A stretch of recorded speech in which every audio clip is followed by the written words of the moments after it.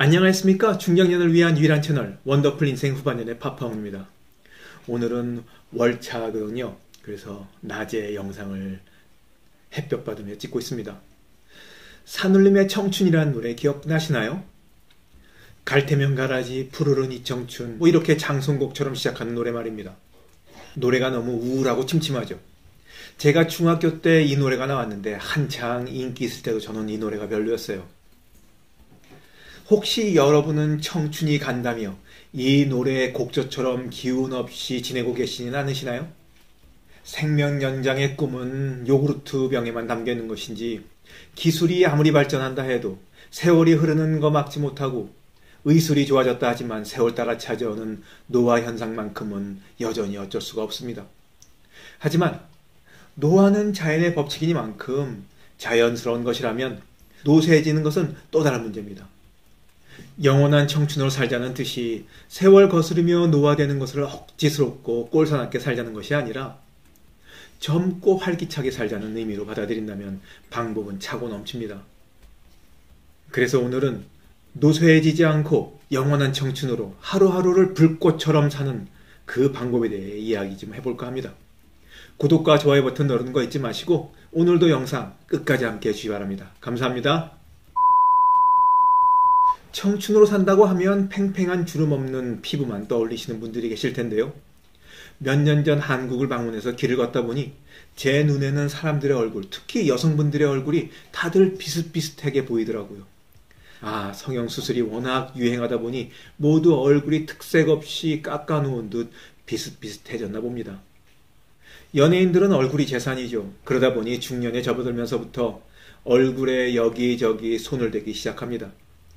노년기에 접어들어서도 세월이 저 사람에게만 비껴간 것처럼 여전히 팽팽한 피부를 갖고 있지만 지속적인 성형 수술로 말할 때나 웃을 때 입주위 여기저기 어색한 모습이 보이기도 하고 예전과는 전혀 다른 사람의 얼굴을 하고 있거나 또는 잦은 성형에 따른 부작용들도 얼굴에 여기저기 나타나서 보입니다. 그 자연스럽지 못한 얼굴에 안쓰러움이 느껴지기도 하고 얼굴에 손을 대면 잠시는 예뻐 보일 수 있겠지만 세월이 흐르면 그게 다 부조화로 나타나는구나 하는 그런 생각도 듭니다. 그래서 TV를 보면서 아내에게 얘기를 하죠.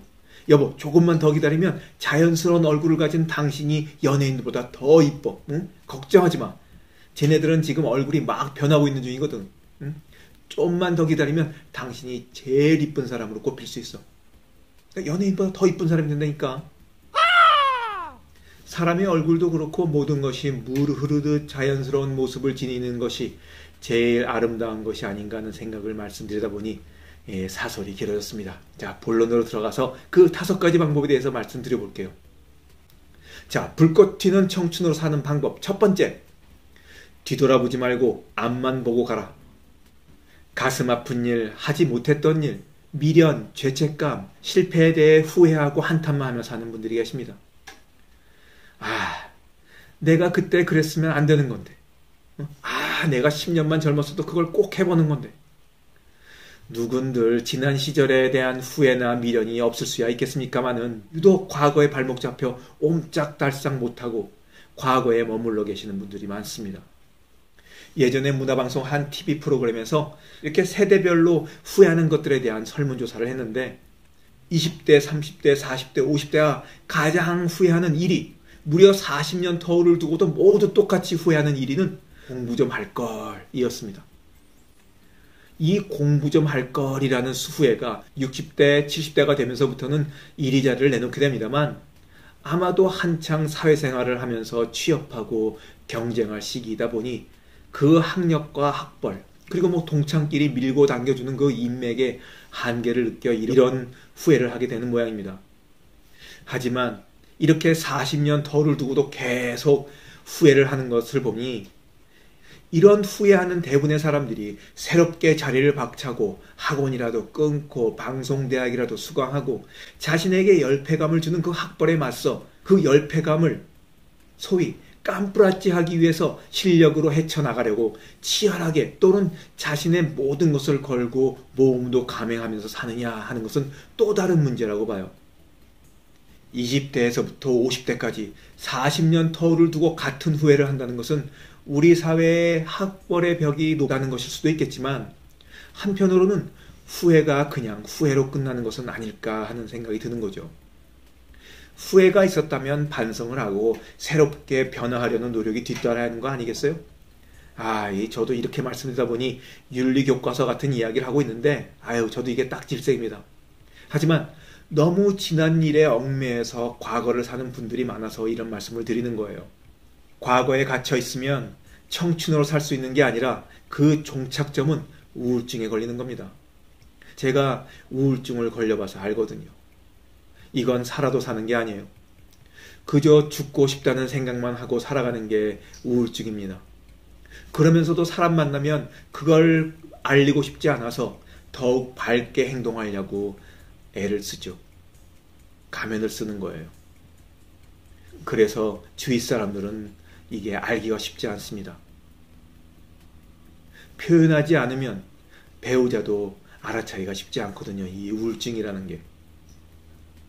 그러니까 한 번뿐인 인생, 이젠 바꿀 수도 없는 과거에 갇혀 지내지 마시고 경험자가 해드리는 말씀이니까 후를 털고 오늘을 행복하게 사는 것에 집중하고 앞날만 보고 살 일입니다. 불꽃 튀는 청춘으로 사는 방법. 두 번째, 어린아이 눈동자처럼 똘망똘망하게 살자. 인풋이 없으면 아웃풋이 없습니다. 투입이 없으면 산출이, 생산이 없는 거죠. 새로운 것이 머릿속에 들어가지 않으면 맨날 누구를 만나던 지난 얘기만 하게 됩니다. 그거 지난번에 얘기했잖아. 한 얘기 또 하고 한 얘기 또 하고 만날 때마다 그 얘기뿐입니다. 지겹죠. 재미도 없고. 지금 자신을 흥분시키는 발전시키는 새로운 것을 배우는 것이 없고 그래서 기다려주는 미래가 없으니까 사람을 만나면 그 옛날에 대기업 다녔네, 어디 나왔네, 이런 헛개비만 늘어놓는 겁니다. 기다려지고 설레이는 미래 없이는 청춘을 살 수는 없죠. 요즘 젊은이들 사이에 일일 시험지가 인기라고 합니다. 정말이지 어렸을 적에 일일 시험지는 그 어린 나이에 피해갈 수도 없고 그렇다고 숨길 수도 없는 아주 처치곤란한 골칫덩어리였잖아요. 하루라도 게으름을 피우면 그 다음 날엔 그게 두 배가 됩니다. 그랬던 그 일일 시험지가 젊은이와 중년들 사이에서 되살아나고 있는 거예요. 시험 성적에 얽매이지 않고 자기가 정말로 좋아하는 것, 그래서 배우고 싶은 것을 골라 매일매일 한 장 한장 일일 시험지를 풀면서 새로운 것을 배우고 오늘이 어제보다 조금 더 발전했다는 성취감을 느끼며 살게 되니 그 행복감이 쏠쏠하다고 합니다. 누구는 한자를 배우고 또 다른 누구는 영어, 일어, 스페인어 등을 일일 시험지로 공부한다고도 하고 누구는 논리적인 사람이 되고 싶어서 감히 상상도 못할 그 수학을 다시 공부한다지 뭡니까? 아, 놀랍죠. 요즘 알찬 인생 후반전을 보내려는 분들을 위해서 지자체를 비롯한 많은 곳에서 경제적인 비용으로 체계적인 교육을 받을 수 있는 곳이 많이 있습니다. 그 대표적인 곳이 서울시의 50 플러스 센터이겠고요. 이만 있다면 새로움을 채울 수 있는 곳들은 많이 있습니다. 이런 일들은 자신 안에 자부심으로 그냥 남겨두시고 남 앞에 보이기 위한 훈장으로 달고 사는 것은 이제 그만 두시자고요. 방전된 밧데리 채우듯 우리의 머리와 가슴을 새로운 곳으로 채운다면 우리는 청춘으로 살아갈 수 있습니다. 나이 들수록 시간이 빨리 지나가잖아요. 그래서 30대에는 세월이 시속 30km로 달아나고 40대에는 40km로 50대에는 50km로 달아난다는 표현이 있습니다. 같은 시간이 나에 따라 다르게 느껴지는 이유는 바로 호기심 때문이라고 합니다. 어렸을 적 호기심이 가득 찼을 때는 보는 것마다 새롭고 신기한 경험에 하루하루가 그렇게 길고 길게 느껴졌던 거죠. 그렇다면 우리가 인생을 길게 살 수 있는 비결은 바로 호기심을 잃지 않는 것일 거예요. 모든 것을 술에 술 탄 듯 물에 물 탄 듯 흐지부지 넘기는 무딘 사람을 뭐라고 부르는지 들어보셨어요? 간처럼 무딘 사람이라고 합니다. 간은 암에 걸려도 평소에는 증상을 알 수 없어서 침묵의 장기라고 부르잖아요. 그래서 이미 손쓸 수 없을 만큼 심각한 지경에 이르러서야 우리는 허이 간이 좀 이상하네 하고 병원에 가게 됩니다. 이런 무딘 간처럼 자극도 없이 호기심도 없이 살아서는 안 될 일입니다. 호기심을 갖고 새로운 것을 배우면 시간도 천천히 흐를 뿐 아니라 우리 눈도 아이들의 눈처럼 반짝반짝 빛나고 생기로 가득 차죠. 그 똘망똘망한 눈, 야, 이거 얼마나 이쁩니까? 평생을 글도 못 읽는 까막눈으로 살다가 칠순 팔순 돼서 한글을 깨우쳐 자신의 생각과 마음을 시로 적어내는 할머니들의 그 밝은 표정과 눈동자를 기억하세요? 새로움은 우리들에게 생명력을 주는 게 분명합니다. 불꽃 튀는 청춘으로 사는 방법 세 번째 단정하게 차려입자 요즘 인생 후반전에 유니폼이 있죠. 때와 장소를 가리지 않고 등산복을 입고 다니는 분들이 많이 있습니다. 색상도 화려하고 스판으로 쭉쭉 늘어나니까 움직이는데도 아주 편안하죠. 그런데 1년 365일을 어딜 가든 어느 때라도 이 등산복을 입고 있다면 생각해 볼 여지는 있겠다 싶습니다. 나이 들어 옷을 깨끗하고 단정하게 입는 것도 경쟁력입니다. 큰 돈을 옷에 쓰자는 것이 아니라 깔끔하게 입자고 말씀드리는 거예요.